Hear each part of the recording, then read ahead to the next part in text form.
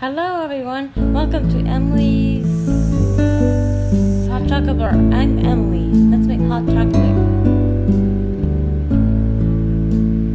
What you need is hot cocoa powder, water, and cups.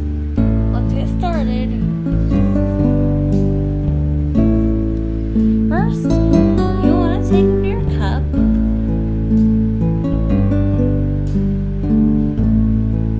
like I have here. Next, you will want to put some water in, and next you will want to put hot cocoa powder. Then mix it.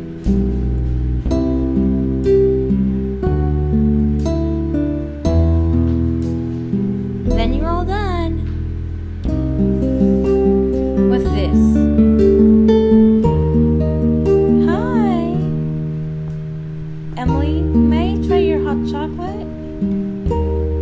Sure, Isabel. Go ahead.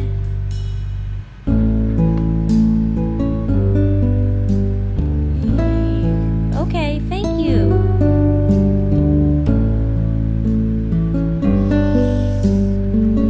Mmm, delicious.